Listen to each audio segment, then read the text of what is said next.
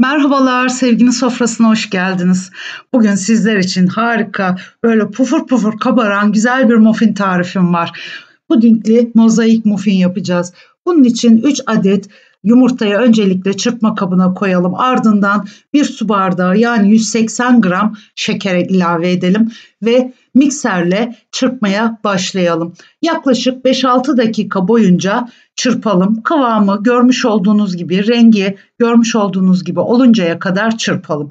Ardından oda ısısında e, beklemiş olan süt ilave edelim. 250 mililitre süt bir bardak 200 mililitrelik bir bardakla artı dörtte bir kadar. Sonrasında 100 mililitre ayçiçek yağı ilave edelim yarım su bardağı kadar. Ardından 2 paket kabartma tozu ve bir pakette pardon 2 paket vanilya, bir pakette kabartma tozu ilave edelim. Daha sonrasında unumuzu ekleyelim. Ee, un miktarı 300 gram yaklaşık olarak 2,5 su bardağı diyebilirim. 200 mililitrelik su bardağıyla her bir su bardağı 115 miligram su pardon un alıyor. Ee, böyle hesaplarsanız böyle bir bardak kullanırsanız işiniz çok kolay olur. Ardından ben e, bir markanın meşhur bir markanın e, iki paket vanilyalı pudingini ilave ettim görmüş olduğunuz gibi. Bu paketler 37,5 gram falan. Ee, eğer e, sizin ülkenizde veya Türkiye'de biliyorsunuz büyük paketler de var. 75 gram olacak sadece.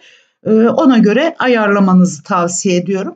Ee, el çırpıcısıyla hep aynı yönde karıştırarak şöyle güzelce çırpalım ve ardından hazırladığımız muffin kalıplarının içerisine yarım oluncaya kadar bu harçtan koyalım. Daha sonrasında 25 gram yani 2 yemek kaşığı kakaoyu ekleyelim. Ardından da 5-6 yemek kaşığı kadar yavaş yavaş süt ilave ederek kakaolu harcı hazırlayalım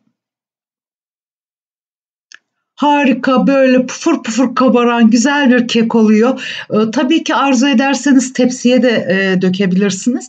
Ama böyle porsiyonluk hazırlamak isterseniz diye o yüzden ben bu şekilde hazırladım bu sefer. Birer tane böyle misafirlerime tabaklara koydum. Misafirim vardı onun için hazırlamıştım. Görüyorsunuz ne kadar güzel kabardıklarını, kalıplardan taştığını. Lütfen sizler de mutlaka deneyin bu lezzetli muffinleri. Teşekkür ediyorum izlediğiniz için. Bir başka lezzetli tarifimde yeniden görüşmek ümidiyle. Ee, lütfen abone olmayı, yorum ve beğeni bırakmayı ihmal etmeyin olmaz mı? Bunlar kanalımın gelişmesi için çok değerli ve kıymetli. Hoşça kalın, mutlu kalın, sevgiyle kalın.